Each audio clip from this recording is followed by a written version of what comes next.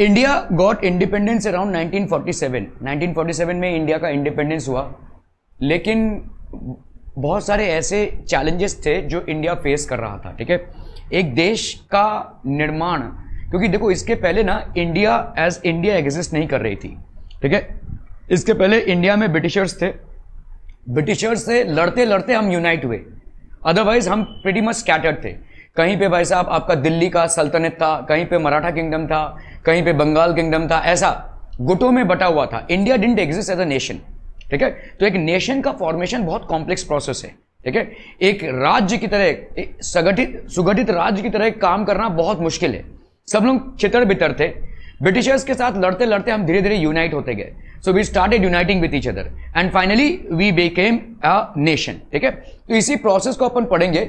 India became independent in 1947 India accepted the constitutional framework in 1950 तो constitutional framework बच्चा पाड़ी क्या है? What is the constitutional framework?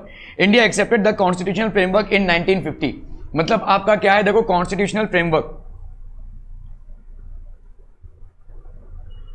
so India accepted the constitutional framework in 1950 constitutional framework मतलब क्या होता है?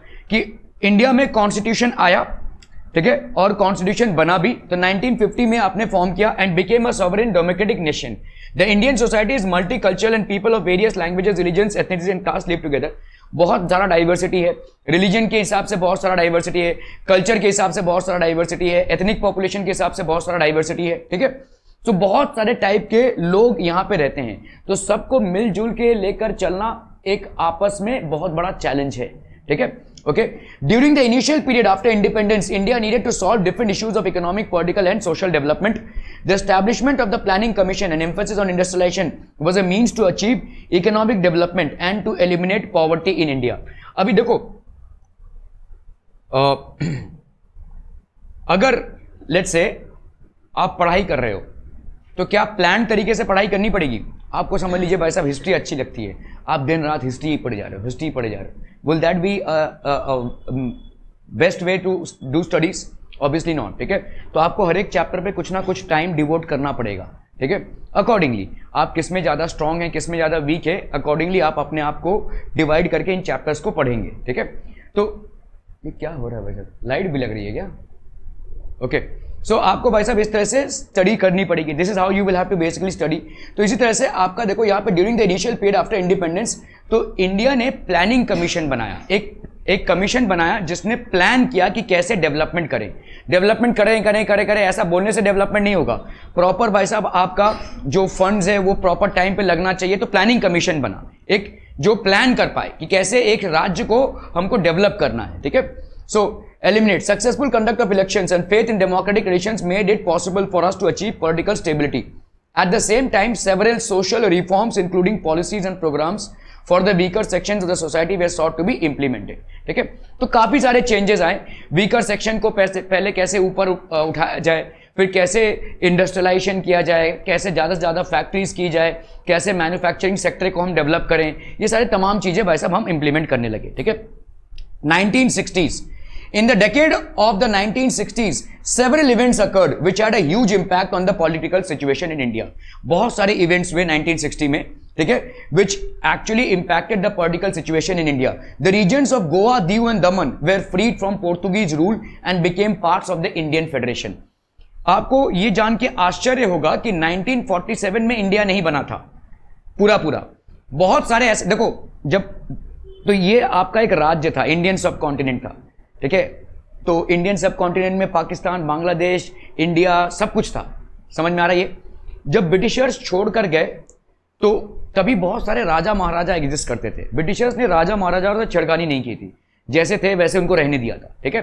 तो इन्होंने बोला कि भाई साहब, जो नवाब हैं, जो राजा महाराजा हैं, जैसे जो जम्मू एंड कश्मीर, उस टाइम पे जो उनके लीडर थे, उनका नाम था महाराजा हरी सिंह। ठीक है? तो जैसे अगर आप देखोगे हैदराबाद के एक नवाब हुआ करते थे तो ऐसे अलग अलग रूलिंग स्टेट्स थे। तो जब ब्रिटिशर्स छोड़ के जाने लगे, उन्होंने बोला, ये जितने भी रूलर्स हैं इन स्टेट्स के, ठीक है they can either be a part of India और Pakistan they are free to do that ठीक है? सो ऐसा चितर बितर करके गए। अभी कुछ जगहों पर पोर्तुगीज रूल भी था। जैसे गोवा जो है, वो पोर्तुगीज के अंडर था। ठीक है? तो इंडिया में अभी तक मतलब गोवा पहले से ही पोर्तुगीज रूल में था। आपका पौंडीचेरी एक जगह है, वो भी भाई साहब डच कॉलोनी थी। तो ऐसे बहुत सारे छोटे छोटे कॉलोनीज भी थे। तो इंडिया का इंडिपेंडेंस हुआ 1947 में, लेकिन गोवा दमन दीव, ये अभी तक इंडिया के पास नहीं आया था। यहाँ पे अभी तक पोर्तुगीज रूल था, ठीक है? तो अभी इसको कैसे ले तो इंडिया ने अपनी कंट्री में ही अपने जगह को आज़ाद करवाने के लिए आर्मी उतारी। समझ में आ रहा है? किसी दूसरे कंट्री से जब आप वॉर पे जाते हो, तब आप आर्मी उतारते हो। लेकिन अपने ही कंट्री में अपनी जगह को छीनने के लिए अपनी जगह को कंट्री में इंक्लूड करने के लिए आपको आर्मी उतारनी पड़ी। And there was a war that was for in which Portuguese were मतलब पोर्तुगीज को भगाया गया वहाँ से। इंडियन आर्मी को उतारा गया वहाँ पे ठीक है? सो so, ये है भाई साहब गोवा दमन दीव की कहानी। आज की तारीख में भाई साहब बस पकड़ा निकल लिए ओ दारू पार्टी हो रही है भाई साहब गोवा में।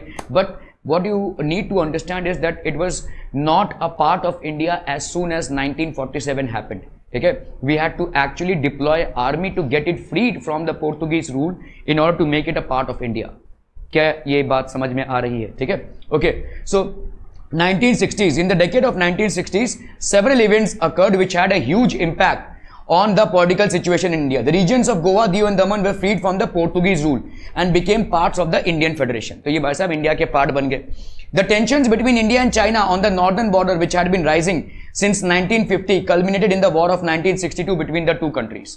ठीक है? तो आपका भाई साहब इंडिया और चाइना में वॉर हुआ, पहला। ठीक है? 1962 में इंडिया और चाइना वॉर हुआ। This war was fought in the region of McMahon line McMahon line basically border line है। ठीक है? इंडिया और चाइना के बीच में। तो उस, वहाँ पे वॉर हुआ बिटवीन इंडिया एंड चाइना ठीक है? After India became independent prime minister Pandit Jawaharlal Nehru led the country he was a architect of India foreign policy ठीक है? फॉरेन पॉलिसी इतना इंपॉर्टेंट क्यों है? Why is it so important any one why is India foreign policy important और any countries foreign policy क्योंकि आपके दूसरे देश के साथ क्या ताल्लुकात हैं, वो बहुत मायने रखते हैं। ठीक है? How do you treat the other nation this is very important ठीक है? So the architect of India foreign policies contribution to the social and economic development of India is significant Jawaharlal Nehru passed away in 1964 ठीक है?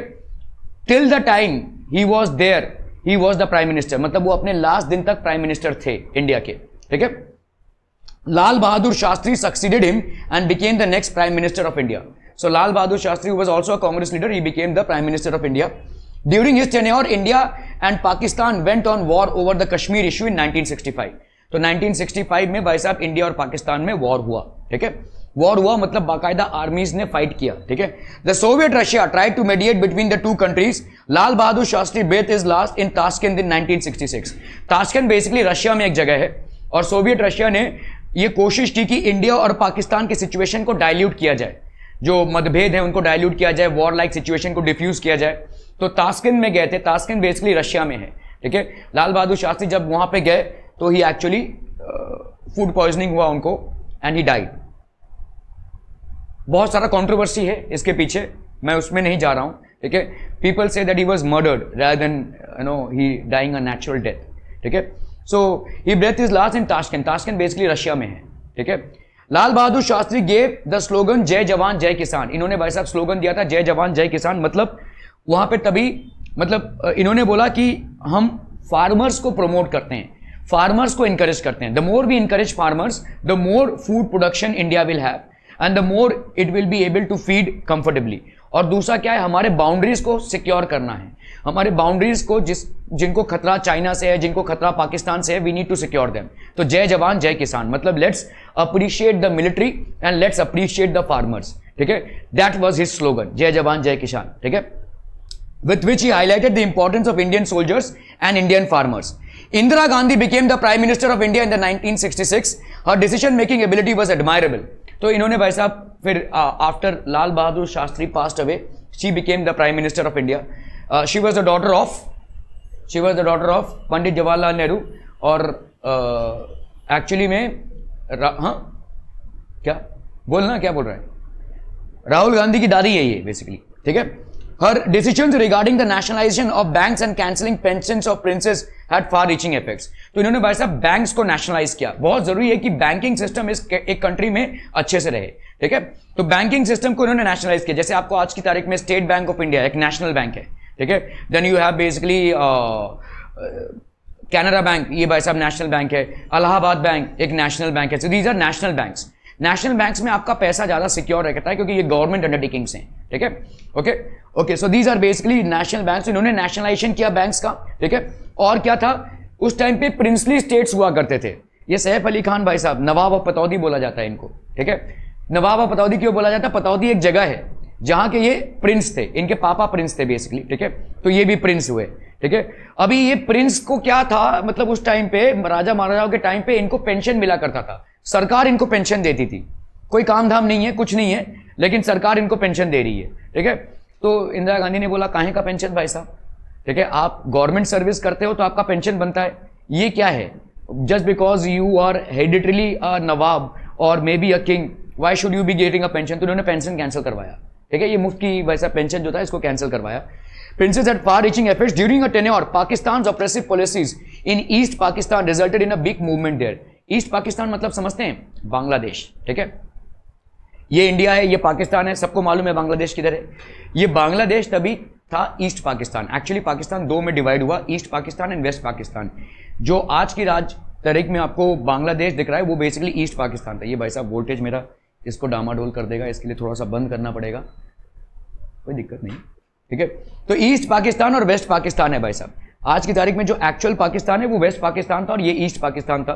तो East Pakistan में क्या हुआ भाई साहब? बांग्लादेश तो अभी आप सोचिए, दो कंट्रीज़ ऐसी हैं, बीच में इंडिया है, जो भाई साहब दुश्मन है।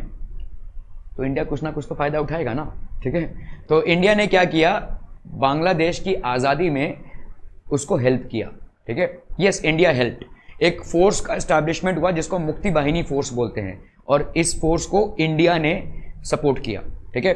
बांग्लादेश मतलब बोल रही कि भाई साहब, हम यहाँ पे हैं, आप लोग वहाँ पे हैं, बीच में एक कंट्री है, ये कैसे मैनेज होगा? How will this be manage ठीक है? सो इंडिया ने बोला, ठीक है भाई साहब, आप आज़ाद हो जाओ, क्या है? हम आपको मदद करेंगे। तो देर was a revolt Mukti Vahini हुई, और इस चीज़ का खुन्नस पाकिस्तान वालों को आज तक है। They are still basically annoyed about it ठीक है? क्योंकि इंडिया को सपोर्ट किया था। इंडिया ने इस इस मूवमेंट को सपोर्ट किया था। तो उस टाइम पे क्या हुआ? मुक्ति वाहिनी जो फोर्स है, वो बांग्लादेश में फैलने लगी और ये रेबिलियस फोर्स था। ये पाकिस्तान गवर्नमेंट को हटाने के लिए थी। तो इंडिया ने इसको सपोर्ट किया और फाइनली बांग्लादेश आज़ाद हो गया। मतलब ये कंट्री उनके हाथ से निकल गया। Bangladesh as a separate nation was formed ठीक है? सो इसमें इंदिरा गांधी का काफ़ी बड़ा हाथ था। उन्होंने इस चीज़ को बेसिकली ये मुक्ति वाहिनी जो फोर्स है ये बेसिकली रेबिलियस फोर्स था, ठीक है? मुक्ति वाहिनी एक फोर्स था जो बांग्लादेश में क्रिएट हुआ अगेंस्ट द पाकिस्तानी गवर्नमेंट ठीक है? So this movement was led by Sheikh Mujibur Rahman and his organization Mukti Vahini और इसको पूरा पूरा सपोर्ट इंदिरा गांधी ने किया, ठीक है?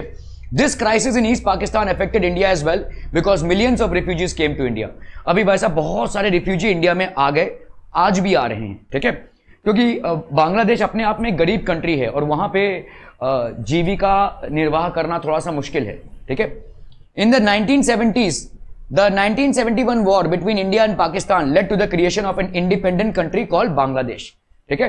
तो भाई साहब 1971 में इंडिया और पाकिस्तान में वॉर हुआ और उसके बाद पाकिस्तान एक इंडिपेंडेंट नेशन फॉर्म हो गया। सॉरी अपना बांग्लादेश एक इंडिपेंडेंट नेशन फॉर्म हो गया।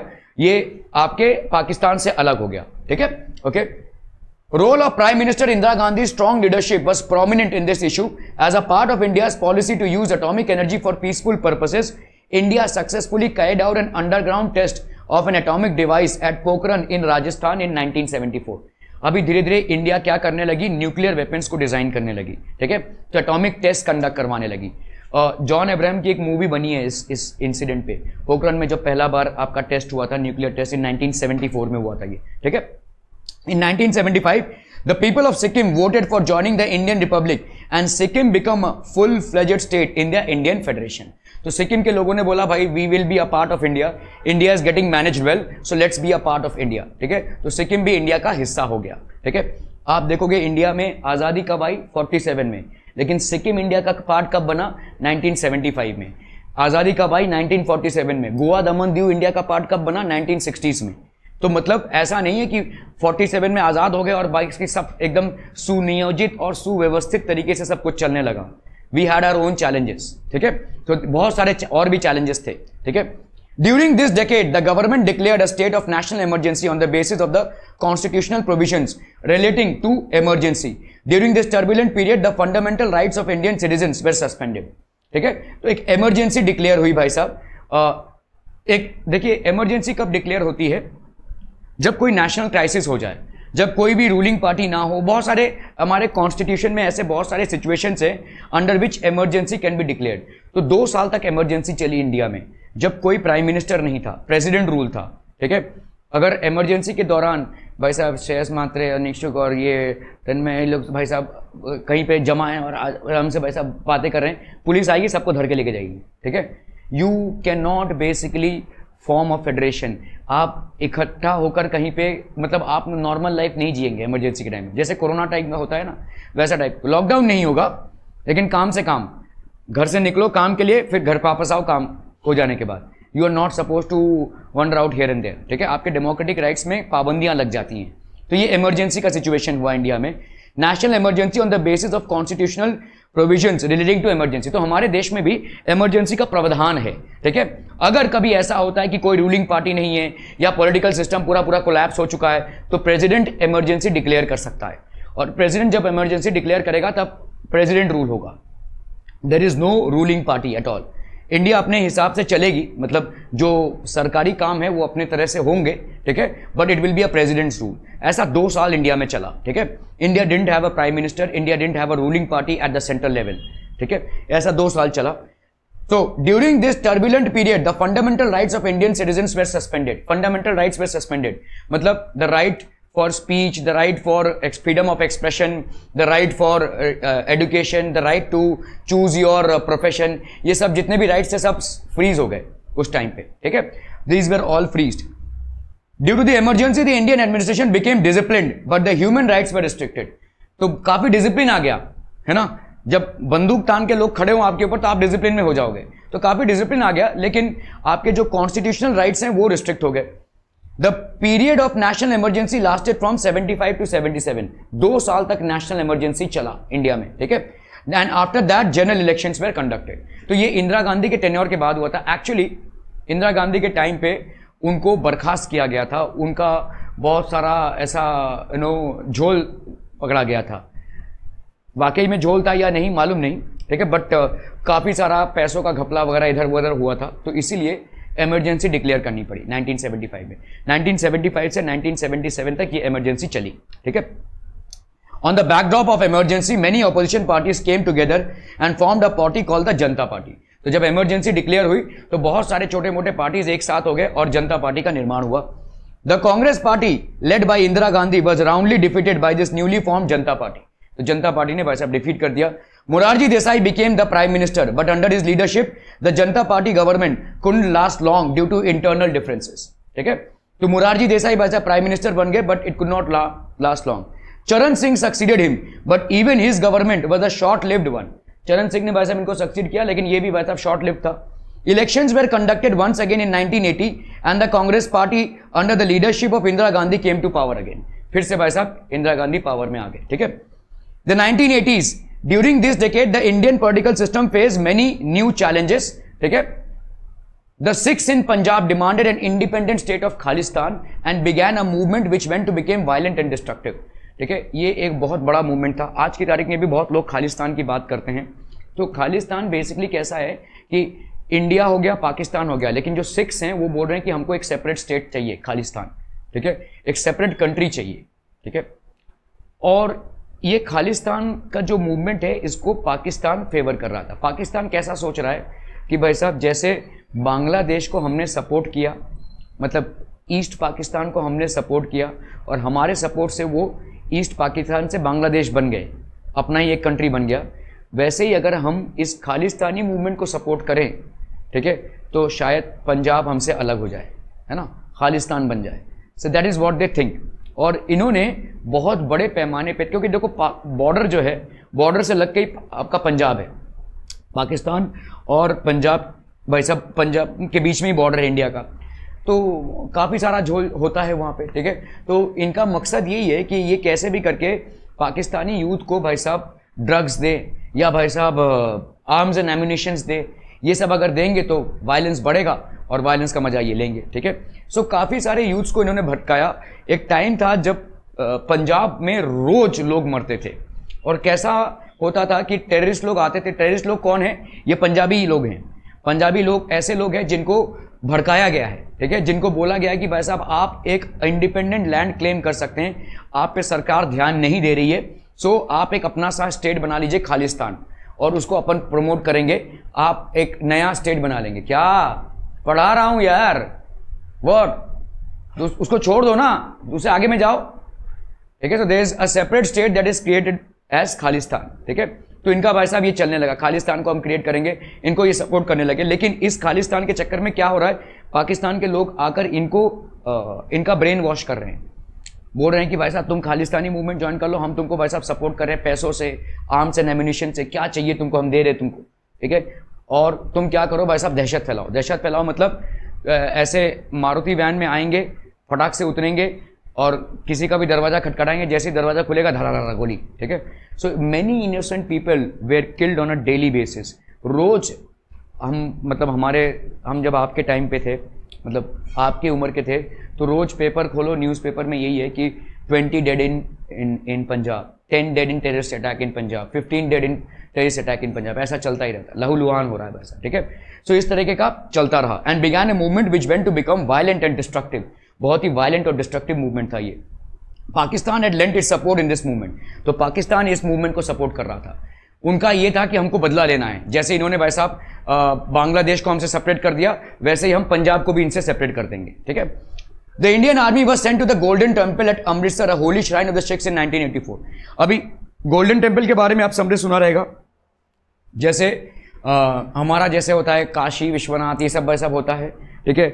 मोहम्मडन्स का जैसे वैसा मक्का होता है वैसे ही सिख लोगों का मोस्ट प्रिविलेज प्लेस है मतलब मोस्ट जो बहुत रिलीजियस प्लेस है उनका वो है गोल्डन टेंपल ठीक है? जो अमृतसर में है। अभी खालिस्तानी एक लीडर थे बिंडरवाल, ठीक है? बिंडरवाल को मतलब ये खालिस्तानी लीडर थे टेरिस्ट हो चुके थे ये। तो बिंडरवाल ने क्या किया? गोल्डन टेंपल में कब्जा कर लिया। तो गोल्डन टेंपल में ये भाई साहब पूरा गन लेकर घूमते हैं। जो लोग भी आते हैं भाई साहब पूजा पाठ करें, लेकिन ये गन लेकर घूमते हैं। गोल्डन टेंपल जो है, इनके कब्जे में है, ठीक है? बहुत सालों से ऐसा चला आ रहा है, बहुत टाइम से ऐसा चला आ रहा है। तो इंदिरा गांधी ने बोला, बस, बहुत हुआ अभी, इनको यहाँ से भगाना है। ठीक है? क्योंकि एक टेंपल है जो हमारा मतलब प्रतीक है, सिख लोगों का प्रतीक है। उस टेंपल पे ही अगर टेररिस्ट लोग इतने दिन से हैं तो भाई साहब लोग जो जाएँगे, इनके साथ इंटरेक्ट करेंगे। इनका तो ब्रेन पहले से ही वॉश हो चुका है, ये लोग फिर इनका भी ब्रेन वॉश करेंगे। तो लेट्स टर्मिनेट दिस तो इंदिरा गांधी ने एक ऑपरेशन लॉन्च किया, जिसको अपन बोलते हैं ऑपरेशन ब्लू स्टार ठीक है? यहाँ पे आर्मी उतारी गई, ठीक है? प्रॉपर आर्मी उतारी गई, बहुत गोलियाँ चली और करीब दो तीन सौ लोग मरे भी। ठीक है? बिंडरवाल and its entire gang was wiped off पूरे सबको खत्म कर दिया। लेकिन कुछ लोग भी मारे गए। तो सिख लोगों का थोड़ा सा गुस्सा आया इंदिरा गांधी के ऊपर कि हमारा ये रिलीजियस श्राइन है और यहाँ पे इतना लहूलुहान हो गया। यहाँ पे इतनी गोलियाँ चली, यहाँ पे इतने लोग मरे। लेकिन किसी को भी गोली चलाना नहीं था। ठीक है? हमने बहुत कोशिश की इनको समझाने की कि भाई साहब ये मंदिर है, इसको छोड़ दीजिए। Let this be out of your terrorist grip आपको जहाँ जाना चाहिए, लेकिन यहाँ आपको कम कम इसको छोड़ दीजिए। लेकिन वो छोड़ ही नहीं रहे थे तो मिलिट्री उतारनी पड़ी। मिलिट्री उतारनी पड़ी तो लहू लुहान हुआ। इसीलिए एक दिन जब Indira Gandhi without bullet proof jacket अपने ही लॉन में टहल रही थी तो उनके एक सिख गार्ड ने उनकी हत्या कर दी। ठीक है? ही फायर्ड सिक्सटीन बुलेट्स उनके बॉडीगार्ड थे। इंदिरा गांधी के बॉडीगार्ड थे। तो ये बदला लिया गया। ठीक है? सिख लोगों ने इस चीज़ का बदला लिया। सो सिख जो आपके मतलब बॉडी गार्ड थे ये fired sixteen bullets into Indira Gandhi she was spotted ठीक है? इसके बाद एक और तांडव हुआ। इसके बाद तांडव ये हो गया, कांग्रेस तभी पार्टी रूलिंग पार्टी थी, क्योंकि सिख ने हमारे उसको मारा है तो सिख को मारो। तो आप देखोगे, बहुत बड़ा तांडव हुआ मतलब दिल्ली वगैरह पे सिख लोगों को मार मार के जलाया जाने लगा। ठीक है? बहुत लोग मारे गए, बहुत सिखों को मारा गया। मतलब ये एक मैसा के रैड फैल गया था तभी। ठीक है? उस टाइम पे बहुत सारे जितने भी सिख लोग थे, उन्होंने अपना टर्बन त्याग दिया। मोना पंजाबी बोलते हैं इनको। Mona Punjabi means a person who has basically sacrifice his beard and पगड़ी, ताकि पहचाने ना जाए। क्योंकि तभी पहचाने जाते थे तो उनको मार दिया जाता था। तो ऐसा बहुत बड़ा हादसा हुआ था, ठीक है? So these are things that happened okay the Indian army was sent into the golden temple at amritsar, a holy shrine of the sikhs in 1984 to evict the terrorists who had allegedly taken shelter there one of the bodyguards in indira gandhi's personal security assassinated her तो इसी का बदला लिया देखो जैसे मैंने बोला assassinated her मतलब उसको इंदिरा गांधी को मार दिया ठीक है okay during this period an organisation call the United Liberation Front of Assam ULFA carried on a major movement in northeast. Right after Indira Gandhi's assassination in 1984, Rajiv Gandhi became the Prime Minister of India. He tried to make several reforms in the field of Indian economy and that of science and technology. Took the lead in solving the issues of the Tamil minority in Sri Lanka. तो अभी भाई साहब तो ये alpha जो था, इसको भी कर्व किया गया। अभी क्या हुआ श्रीलंका जब उस टाइम पे श्रीलंका में सिविल वॉर चल रहा था। सिविल वॉर मतलब आपस में टेंशन चल रहा था। क्या हुआ था कि श्रीलंका में दो ग्रुप्स थे।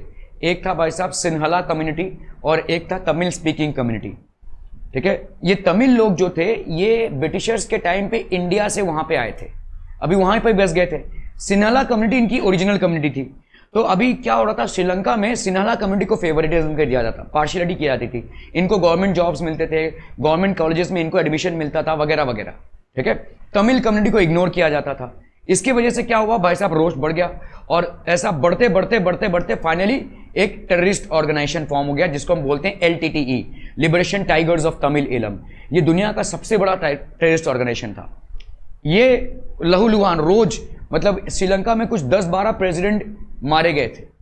रोज भाई साहब वायलेंस हो रहा था। वैसे ही, जैसे पंजाब में हो रहा था, वैसे श्रीलंका में भी हो रहा था। तो तभी राजीव गांधी ने he was basically the prime minister of India उन्होंने श्रीलंकन गवर्नमेंट की मदद की, ठीक है? उन्होंने बेसिकली आर्मी भेजा वहाँ पे।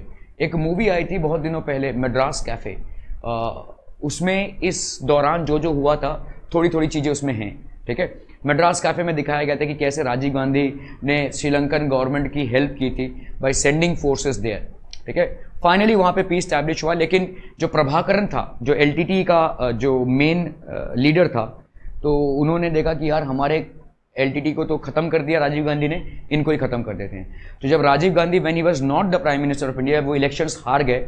इलेक्शंस हारने के बाद श्री पेरम्बुदुर गए थे, श्री पेरम्बुदुर साउथ में एक जगह है, वहाँ पे ऐसे ही प्रवत, ये करने गए थे कैनवसिंग करने गए थे वोटिंग के लिए नो लोगों को कन्विंस करने गए थे तो उनको बम से उड़ा दिया गया। ठीक है? Rajiv Gandhi was killed on the spot along with twenty five more people एक लेडी आई थी जो पूरा उसके मतलब जो फ्लावर बुके था उसमें बॉम्ब था वो एक्सप्लोड हो गया.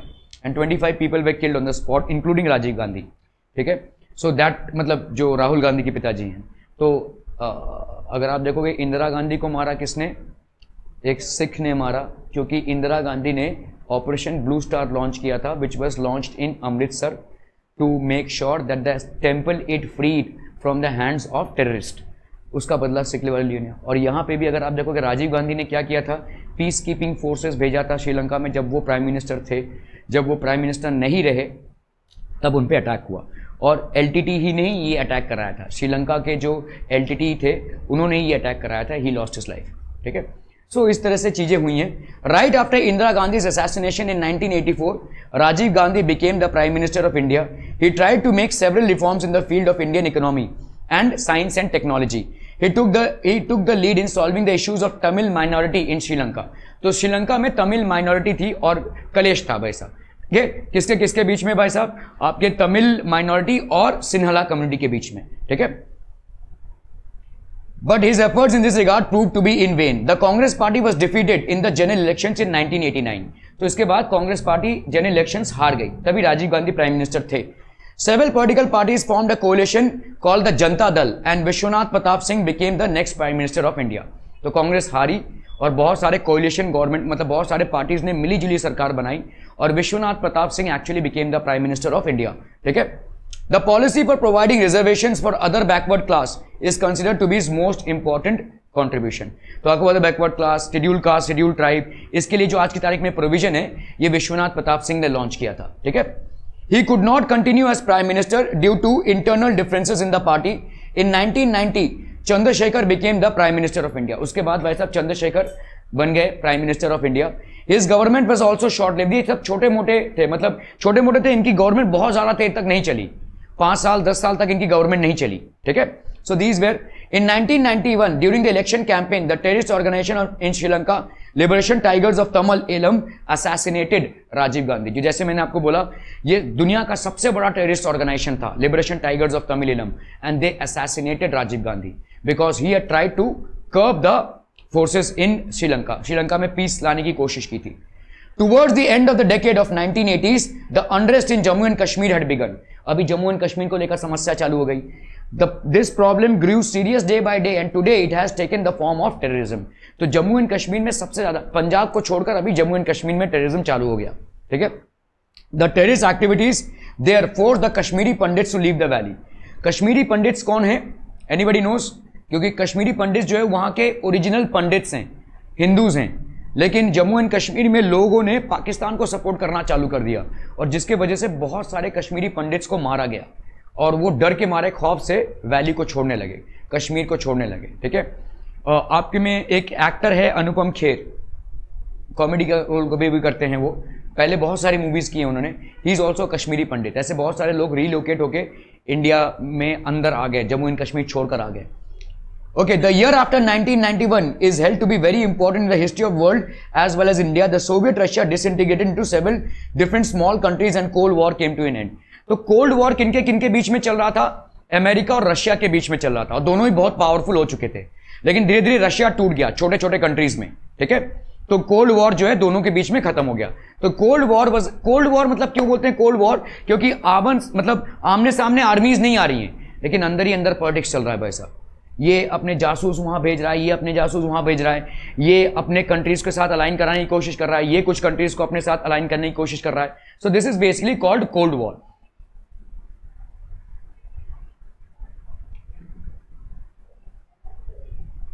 this is known as cold war ठीक है? This is known as cold war they are trying to align things ठीक है? सो यहाँ पे भाई साहब आपका कोल्ड वॉर चल रहा है।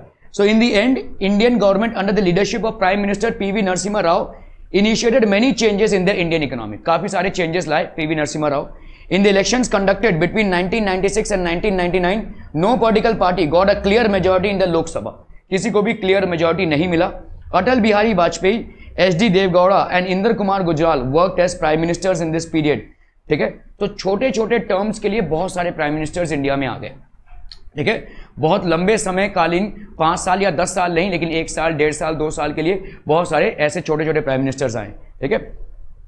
Finally 1999 the national democratic alliance जिसको हम एनडीए बोलते हैं, ठीक है? Came to power under the flag of Bharatiya Janata Party and Atal Bihari Vajpayee became India first prime minister तो ये इंडिया के पहले प्राइम मिनिस्टर बन गए, ठीक है? He was the first prime minister of India okay Atal Bihari Vajpayee tried to establish a dialogue with Pakistan but was not successful ठीक है? India conducted a number of nuclear test in 1998 and declared himself herself as an atomic power तो इन्होंने भाई साहब atomic power ठीक है? In 1999, there was a war between India and Pakistan in Kargil region over the Kashmir issue. India defeated Pakistan in this war. तो India ने पाकिस्तान को भाई साहब डिफीट कर दिया इस वॉर में। Indian economy right from independence the modernization of economy economic self sufficiency and social justice have been the characteristics of Indian economy ठीक है? तो right from the independence modernization of economy economic self sufficiency and social justice have been the characteristics of Indian economy India wanted to acquire modernity and self reliance by establishing industries we wanted to establish an economy based on social justice through planning for this the national planning commission was establish was establish that would coordinate development through the policy of five year plan तो national commission जो था, वो पाँच साल के plan launch करने लगा। अंदर ही कुछ गिर गया। कि बाहर से। अंदर ही गिरा ना? अरे बोलो ना। ओके ठीक है। तो ये फाइव ईयर प्लान लॉन्च करने लगा, ठीक है? तो जैसे यहाँ पे पाँच साल तक हम इंडस्ट्री पे फोकस करेंगे। पाँच साल तक हम मैन्युफैक्चरिंग या स्कूल्स पे फोकस करेंगे एजुकेशन पे फोकस करेंगे। ऐसा पाँच साल तक गवर्नमेंट प्लान बनाने लगी। These are known as five year plan ठीक है? एक प्लानिंग नेशनल प्लानिंग कमीशन बना और नेशनल प्लानिंग कमीशन के हिसाब से पाँच साल के प्लान्स बनने लगे, ठीक है? The Narasimha Rao government started economic reforms from 1991 अभी 1990 में क्या हुआ? इंडिया बहुत गरीब हो चुकी थी, ठीक है? तो इंडिया ने भाई साहब वर्ल्ड लोन बैंक से लोन मांगा। तो वर्ल्ड बैंक ने बोला, देखिए, हम लोन आपको नहीं दे सकते, क्योंकि आपकी कंडीशन बहुत खराब हो चुकी है। ठीक है, अगर हमने आपको लोन दिया तो आप इस लोन को चुकता नहीं कर पाएँगे। ठीक है you will not be able to basically repay us back so then what happen तो भाई साहब इन्होंने बोला कि आप लोन चुकता नहीं कर पाएँगे। तो एक काम कीजिए, आप अपने बिज़नेस को थोड़ा सा रिलैक्स कीजिए। Try and get other people in मतलब ग्लोबलाइजेशन अडॉप्ट कीजिए। Let your frontiers be open for globalization let the others come in तो पहले इंडिया में, जैसे अगर आप देखोगे, सिर्फ़ कोका कोला ही चलता था which is basically a foreign company अगर कोई नाइकी का शूज़ पहनता है तो भाई साहब उसके खानदान में कोई ना कोई फॉरन में गया रहेगा, वहाँ से नाइकी का शूज़ लेकर आया होगा। ठीक है? आज की तारीख में भाई साहब, आप ऑनलाइन ऑर्डर कर सकते हैं, आप भाई साहब कहीं से जाकर परचेज भी कर सकते हैं बिकॉज़ ग्लोबलाइजेशन का दौर आ गया है। आज की तारीख में जो मोबाइल्स आप यूज़ करते हैं, कोई भी इंडिया मैन्युफैक्चर्ड नहीं है, ठीक है? All these are foreign companies Samsung हो गया भाई साहब ओप्पो हो गया आईफोन हो गया all these are basically offshore companies ठीक है? तो जिस तरह से हमने अपने मार्केट्स दूसरे कंपनीज़ के लिए या इंटरनेशनल कंपनीज़ के लिए खोल दिए, वैसे इंटरनेशनल मार्केट्स भी हमारे लिए खुल गए हैं। इसको हम बोलते हैं ग्लोबलाइजेशन। इससे हमारी हालत थोड़ी सुधरी, ठीक है? तो वर्ल्ड बैंक ने सजेशन दिया कि भाई साहब, आप अगर फिर से पैसा मांगेंगे तो हम अगर आपको पैसा दे भी देंगे तो इसको आप चुकता नहीं कर पाएँगे। So might as well open your doors for globalization आप अपने बिज़नेस पॉलिसीज़ को थोड़ा सा रिलैक्स कीजिए। Let the outside companies come अभी जब इसको समझिए कि, ठीक है, जब बाहर की कंपनी आएगी तो बाहर की कंपनी को प्रॉफिट होगा, लेकिन आपका भी धंधा बढ़ेगा। कैसे? जैसे अगर सैमसंग मोबाइल है या आप समझ लीजिए आईफोन है। आईफोन बेचने के लिए कोई अमेरिकन इंडिया में नहीं आएगा, है ना? यहाँ पे इंडिया में एक रिटेल आउटलेट बनेगा, जहाँ पे भाई साहब आईफोन रहेंगे और आईफोन कोई इंडियन ही बेचेगा। तो इंडिया को एम्प्लॉयमेंट मिल रहा है, ठीक है? इंडिया को फ़ायदा होगा इससे, ठीक है? सो इसी तरह से इन्होंने कन्विंस किया कि भाई साहब ऐसा नहीं है कि फॉरेन कंपनीज़ में से फॉरेन के लोग आएँगे यहाँ पे ट्रेड करने के लिए। Your people only will be managing the trade so the income that is generated will be benefiting your people only ठीक है? सो ऐसा चलने लगा भाई साहब। The Narasimha Rao government started economic reforms from 1991 these economic reforms are known as economic liberalization तो Narasimha Rao government ने भाई साहब इकोनॉमिक रिफॉर्म स्टार्ट किए, ठीक है? The Indian economy flourished as a result of the implementation of this policy और तब से हमारा भाई साहब चेंजेस आया है। वरना बहुत हालत हमारी खराब हो चुकी थी। मतलब एक ऐसा टाइम था जब इंडिया में बिज़नेस करना के बारे में सोचना भी पाप था। ठीक है?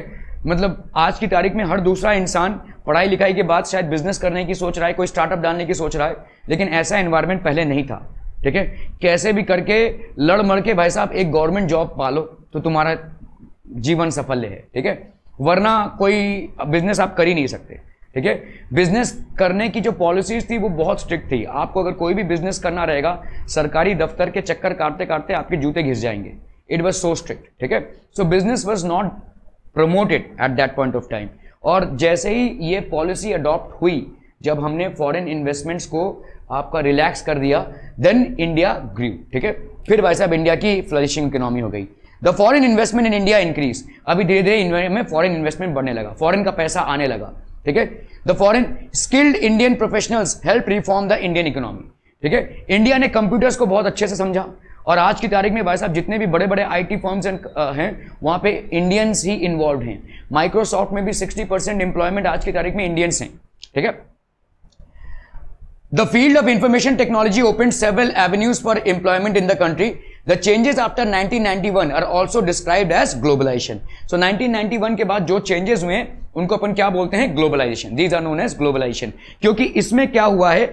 आपने अपने मार्केट्स इंटरनेशनल मार्केट्स के लिए खोल दिए हैं और इंटरनेशनली जितने कंट्रीज़ हैं, उन्होंने भी अपने मार्केट्स आपके लिए खोल दिए हैं। तो परस्पर दोनों को फ़ायदा होगा। बोथ विल बी बेनिफिटेड इसको हम बोलते हैं ग्लोबलाइजेशन मतलब पूरा जो आपका यू नो एक ग्लोबल विलेज की तरह हो गया। जैसे गाँव खेड़े में मेला होता है ना भाई साहब, दूर दराज से लोग आते हैं अपने प्रोडक्ट्स को बेचने के लिए। वैसा ही आपका आज की तारीख में ग्लोबल विलेज हो गया है। आप कहीं का भी प्रोडक्ट उठाकर कहीं पे भी बेच सकते हैं। ठीक है? This is how it is okay science and technology two major events must be mentioned while describing India's efforts towards self-reliance, Dr. M. S. Swaminathan is known as the father of the Green Revolution in 1965. तो इन्होंने भाई साहब green revolution लाया ठीक है he implemented new scientific agricultural techniques and increase the production of food grains तो अभी भाई साहब इसके पहले क्या था इंडिया में फ़ूड ग्रेन्स तो मैन्युफैक्चर हो रहे थे लेकिन जिस तरह से इंडिया की पॉपुलेशन बढ़ रही थी फ़ूड ग्रेन्स सफिशियंट नहीं थे अभी समझ लो एक पेड़ है, टमाटर का पेड़ है, जिसमें तीन टमाटर उग रहे हैं, ठीक है? इससे भाई साहब देश भर का पेट नहीं भर रहा है। अगर उसी टमाटर के पेड़ में अपन 20 टमाटर उगाए, ठीक है, तब जाकर शायद इंडिया का पेट भरेगा। तो इसीलिए इन्होंने एक टेक्नोलॉजी लाई, जिसके तहत हाइब्रिड सीड्स यूज़ होने लगे हाइब्रिड सीड्स मतलब कैसे हैं? जैसे सीड्स में क्वालिटी होती है। किसी पेड़ में भाई साहब ज़्यादा फ्रूट्स बेयर करने की क्वालिटी है किसी में भाई साहब ज़्यादा वेदर वेदर अगर आपका बहुत खराब रहा तो उसको झेलने की पोटेंशियल है। ऐसे भाई साहब सारे क्वालिटीज को पिक करके हाइब्रिड सीड्स बनाए गए, ठीक है? So that they can withstand the extremes of temperature, so that they can withstand the extremes of climate and all, and they can still survive. क्यों होता था पहले कि थोड़ा सा गर्मी ज़्यादा हो गया या थोड़ा सा बरसात ज़्यादा हो गई तो पूरा की पूरी फ़सल खराब हो जाती थी। और पूरी की पूरी फ़सल अगर खराब हो गई तो इंडिया के लोगों के लिए बहुत बड़ा चैलेंज हो जाएगा। तो इसीलिए इन सब चीज़ों से निपटने के लिए, इस फ़ूड क्राइसिस से निपटने के लिए there was the green revolution which was started green revolution के चलते हम भाई साहब हाइब्रिड सीड्स को यूज़ करने लगे। हम भाई साहब इंप्रूव मेथड्स ऑफ़ फ़ार्मिंग करने लगे। ठीक है? हमारा इरिगेशन भाई साहब इंप्रूव हो गया। मैकेनाइज मेथड्स ऑफ़ फ़ार्मिंग हो गया। So all these things improve फिर हमने भाई साहब Verghese Kurien led to increase of milk production India this is called the white revolution इसको अपन बोलते हैं व्हाइट रेवोल्यूशन पहले क्या होता था? देखो, जैसे गाँव खेड़े में दूध प्रोड्यूस हो रहा है। ठीक है? हमारे यहाँ पे तो तबेला हम लगा नहीं सकते हैं शहरों में। तो गाँव खेड़ों में दूध प्रोड्यूस हो रहा है। लेकिन वो दूध भाई साहब वहीं पर रह जा रहा है। जब तक हम उसको शहर में लाएँगे, वो खराब हो जाता है। है ना? तो वो भाई साहब वहीं पर खराब हो जा रहा है। मतलब या तो भाई साहब गाँव खेड़े के लोग पूरा दूध पीकर खत्म कर दें, ठीक है? जिससे दूध का लॉस हो रहा है। तो शहर तक दूध पहुँच ही नहीं पा रहा है। तो धीरे धीरे ऐसी टेक्नोलॉजीज़ लाई गई। आप जो दूध का पैकेट आज की तारीख में खरीद के लाते हो सुबह सुबह ठीक है? वो आपको क्या लगता है? अभी अभी गाय से निकाल कर आपको दिया गया है। नहीं, शायद वो दो तीन दिन पुराना है। शायद वो दो तीन दिन पुराना है, लेकिन उसमें ऐसे चीज़ें ऐड की गई हैं, वो खराब नहीं होगा। होगा खराब, लेकिन उसका भी एक एक्सपायरी डेट है, ठीक है? तो भाई, उतना टाइम दिया जा रहा है कि भाई साहब, शहरों तक आए और डिस्ट्रीब्यूट हो इसको अपन बोलते हैं वाइट रेवोल्यूशन, ठीक है? नवी मुंबई में अगर आप जाओगे आगे तो आपको बहुत सारे ऐसे मिल्क आउटलेट्स मिलेंगे। वाराना है भाई साहब, ठीक है, आपके जितने भी मदर डेयरी है, आपको मिलेगा भाई साहब पाम बीच रोड के आगे। तो इन सब जगहों पे आपके दूध मैन्युफैक्चर हो रहे हैं। ये पूरा गाँव का जो दूध है, वहाँ पे इकट्ठा होकर भाई साहब, ये पास्चराइज हो रहा है ताकि इसका लाइफ बढ़े बिफोर डिस्ट्रीब्यूशन ठीक है? तो मिल्क और डेयरी प्रोडक्ट्स जो है तो बढ़ने लगे। ओके सो इसको हम बोलते हैं white revolution Verghese Kurien led to the increase of milk production he this is called the white revolution and dr swaminathan basically is the architect s swaminathan is the architect of green revolution india had also made a lot of progress in the fields of atomic energy and space research dr homi baba laid the foundation of the indian atomic power ठीक है होमी बाबा ने Indian atomic power का establishment किया India insisted on using atomic energy for peaceful purposes like generation of electricity Pharmaceuticals and defence ठीक है? तो इन्होंने भाई साहब बोला कि हम ऐसे यूज़ कर सकते हैं जनरेशन ऑफ़ इलेक्ट्रिसिटी ठीक है? Then we have basically atomic power and defence ठीक है? India has achieve considerable success in the space technology as well in 1975 the first satellite Aryabhata was launched today India has a successful space programme and many satellites have been launched under this programme India has also made considerable advancement in the telecom sector telecom sector में भी काफ़ी सारा advancement हुआ है।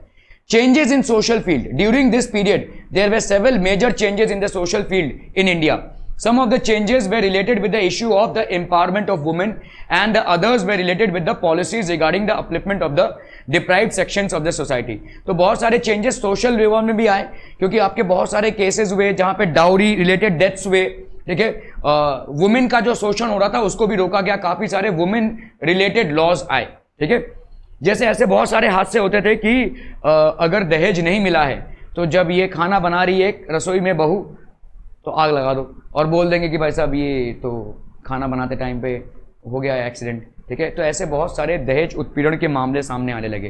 तो then there were separate laws that were created ठीक है? आज की तारीख में अगर डोमेस्टिक वायलेंस रिपोर्ट होता है तो अगर भाई साहब नेक्शुक की बीवी ने पुलिस में जाकर उसके खिलाफ रिपोर्ट लिखा दिया कि ये गाली गलोच कर रहा है या मेरे को मारने की कोशिश कर रहा है, पुलिस कोई तहकीकात नहीं करेगी, इसको उठाएगी और सीधा लॉकअप में डाल देगी। ठीक है? This is how laws have become strict तहकीकात बाद में होगी, पहले तुम चलो। ठीक है?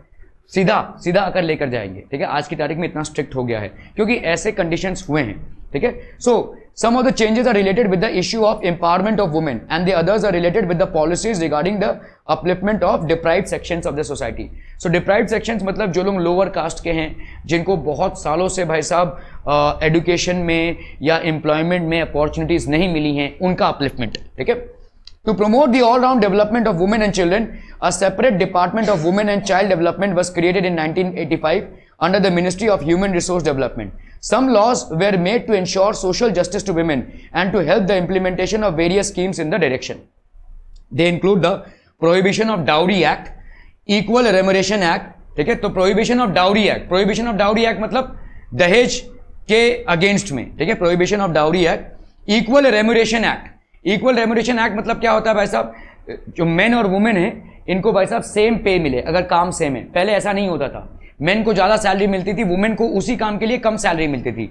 लेकिन आज की तारीख में अगर दोनों का काम सेम है तो the salaries that they would be giving getting would be the same ठीक है?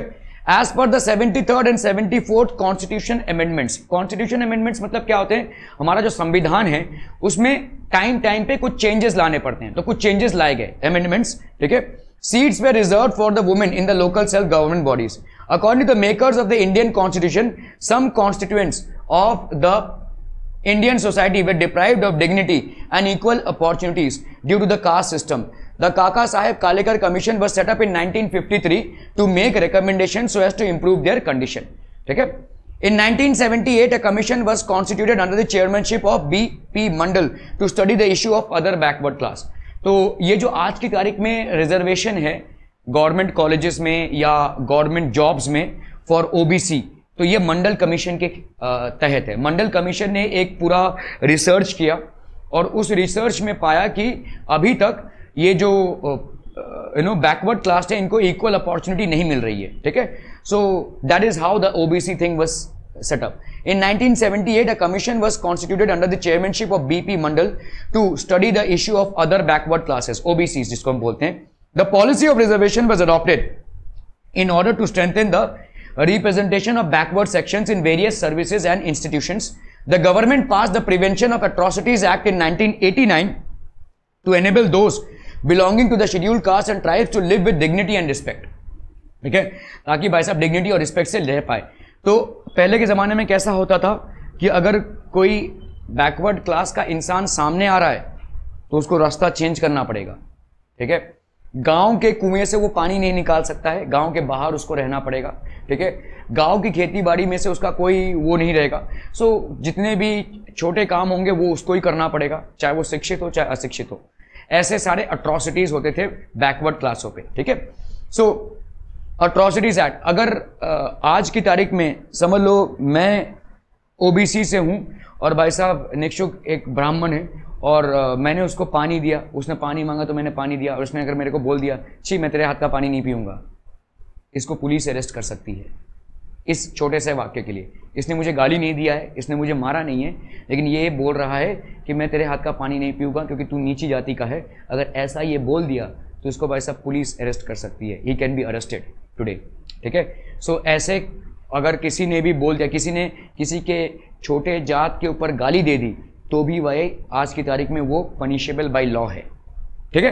This is punishable by law okay so ये prevention of atrocities act in 1989 to enable those belonging to the scheduled caste and tribes to live with dignity and respect ऐसे बहुत सारे अत्याचार इनके ऊपर हुए हैं तो इसीलिए ये एक्ट लिखा गया। Free from fear violence and operation of the upper classes globalization brought about many changes in different fields of economy politics science and technology and society and culture आज की तारीख में जो आपको चेंज दिख रहा है, ये ग्लोबलाइजेशन की वजह से दिख रहा है।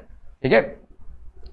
इतना ज़्यादा हमने मार्केट्स को खोला कि हमारा इंडस्ट्रियलाइजेशन भी रैपिडली हुआ मैन्युफैक्चरिंग इंडस्ट्रीज़ भी बढ़ा। ऑब्वियसली दूसरे लोगों ने तो कमाया, लेकिन हमने भी कमाया। ठीक है? सो आज की तारीख में जो आपका इंप्रूवमेंट है लाइफ के, उसमें लाइफ के सर्टन एस्पेक्ट्स में that is purely due to globalization ठीक है? Globalization brought about many changes in different fields like economy, politics, science and technology and society and culture. We have discussed some of these changes in the above paragraphs. India has emerged as an important country on the global scene in different spheres. India is an important member of international organizations like G20 and BRICS. Okay? Brazil, Russia, India, China and South Africa. India has experienced an important revolution in the field of telecommunication technology. तो बहुत सारा important revolution India ने experience किया है Mobile phones, internet and the communication facilities based on satellite have spread all across the country. In the political field, India has demonstrated to the world how a stable democracy can function successfully. Okay? All this has resulted in a total transformation in the lifestyle of Indians and especially from their dietary habits, clothing, language and beliefs. In the next chapter, we are going to study some internal challenges before India. तो कुछ internal challenges जो India के ऊपर थे उसको हमने कैसे deal किया? That is something that we are going to study in the next chapter वा जिसका बना